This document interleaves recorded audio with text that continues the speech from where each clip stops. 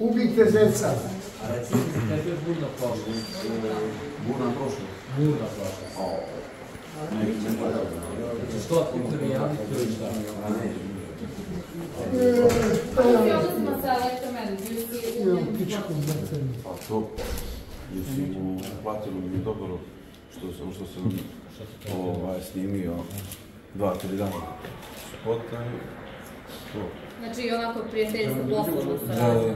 Da. Mislim, nisam kao neki zadrugar da spavam s njom i tako. Kao u naturi, jel da?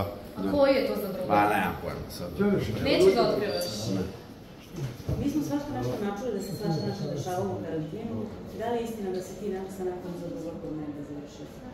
Kako, šta, šta da li istina? Da li se završio s nakon za dogovorkom ili ne? Pa nemam pojma. Ne? Uh, jesam, jesam, jesam, a ne znam kako se zove, Sara ova prva, a ova druga, ne znam, ali sam ga u, iz prve u drugu. I koja se bolje ljubi, Sara ili ova druga? Pa ja mislim ona druga. A kod koja bolje miksete radi? Ali je, ali je mlađa, znam. Pa to je rekao. Prošla je više kilometara, znam. Joj, ovaj, mora se vraći kilometar. Da si naučio neki novi stvarima. Pa nauči sigurno.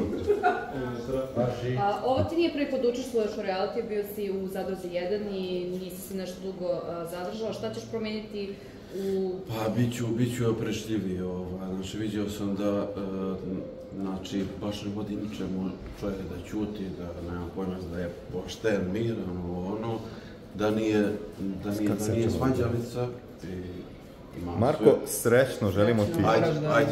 Odličan. Znači, Ćao. Isključivo, ne mi video.